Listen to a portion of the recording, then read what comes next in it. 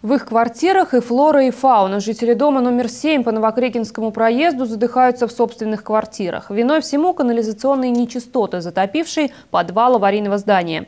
Вместе с неприятным запахом и влажностью жильцов одолевают и тучи комаров. Как живут люди в таких экстремальных условиях, расскажет Анастасия Куклева.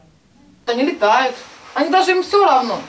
Людей с самого входа в подъезд дома атакуют комары. С недавнего времени они здесь постоянные жители. Виной всему подвал, который залит канализационными стоками. Но, судя по сильному пару, здесь еще и прорвало трубы горячего водоснабжения. Об этом свидетельствует высокий уровень влажности в помещении. Его прочистили, его помыли, потерли, вот он сейчас вот так.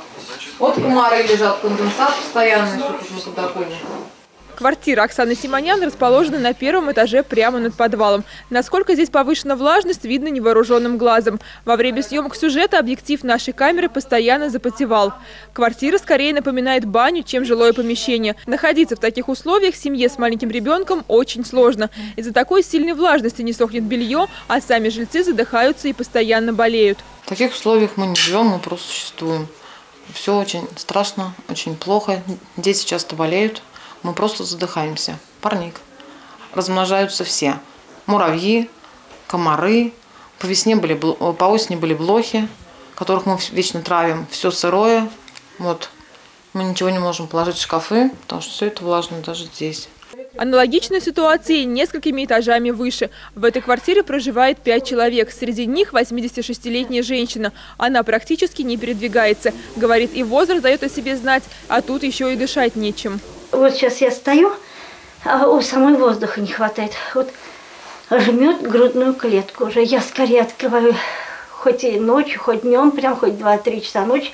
Мне не хватает воздуха. Я скорее открываю а, балкон. Там, если на кухне, на кух... кухню скорее открываю. Вот в таких условиях мы живем.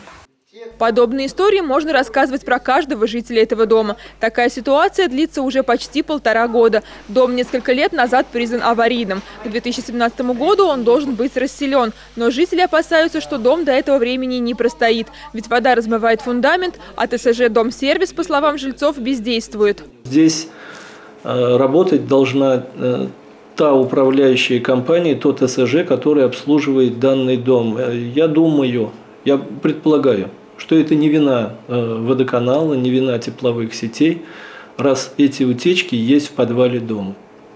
Необходимо соблюдать правила нормы эксплуатации жилищного фонда. Ну, по результатам проверки мы, естественно, дадим ответ гражданке Симонян. Если эти меры не помогут, жители вправе отказаться от услуг ТСЖ и выбрать другую управляющую компанию. Анастасия Куклева, Алексей Фенин, РЕН-ТВ, Саратов.